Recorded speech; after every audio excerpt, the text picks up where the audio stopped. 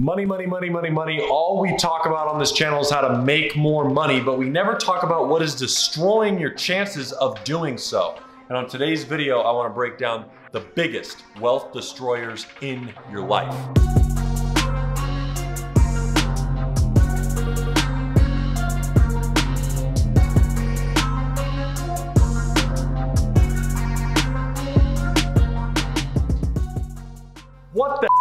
Going on, everybody? My name is Patrick Kenney. It's good to see you back. If you haven't already, be sure to hit that like button, click that subscribe button, and let me know that you want more videos like this. In today's video, we're going to talk about the biggest wealth destroyers, the things that are killing your pockets, they're killing your bank account, they're ruining your financial future. And on today's video, I hope that this gives you a kickstart to understanding why you're not winning the way you want to be. So, number one, the biggest wealth destroyer isn't something typically you'd think of. It's all in your mind. It's your mindset.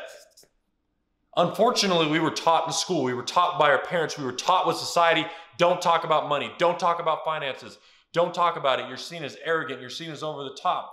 Your mindset is the reason why you make money. What you think about every single day is what you become. Understand, if you were thinking about how you can't afford something or how that's too expensive and poor me, poor me, you're never going to get it. If you think about, I am going to make money, I am going to get that car, I am going to get that house, your mindset is completely different and your thoughts are going to become reality. So, number one, you have to get out of this restrictive mindset and you have to get into what's called an abundant mindset.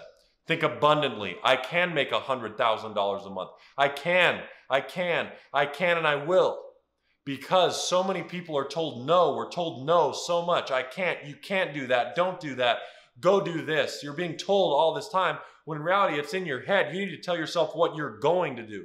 So your mindset's your biggest issue when it comes to finances. And that leads to number two, which you should probably all know, which are all these liabilities in your life. I'm not talking just about the basic liabilities you know about. I'm talking about your family, your friends the people around you that are holding you back. They are the reasons you're not succeeding. Well, be careful. Starting a business is risky. Yeah, so is going and getting a job for 40 years and signing a contract that says my time is worth 30 grand a year. Big whoop. What are you going to go do with 30 grand? Nothing. Now, think about liabilities like this they're coming from people and they are coming from things. Now, we just covered the people in your life. You want to try to get away from those people. Don't listen to them as much, but also the things. Some of these people out here, they come up on their first few bucks, and what do they do? They throw it at that new gaming system. They throw it at that flat screen. They throw it at that vacation or that car. These are all things that go away. Yes, they're fun, they're great, they're dandy, but you go and buy that car, the moment you literally turn it on, it just lost 20 to 40% of its initial value. Why are you investing in those things when you don't have money in the first place? So understand that liabilities are the reason that you are getting your books your bank accounts, your wallets destroyed. Number three, taxes are another wealth destroyer. Now, when you think about it, you might be saying, well, Patrick, I can't avoid taxes. I know you can't. But what you can do is you can help eliminate taxes. You can play within the guidelines. We're going to talk about this on my channel some more.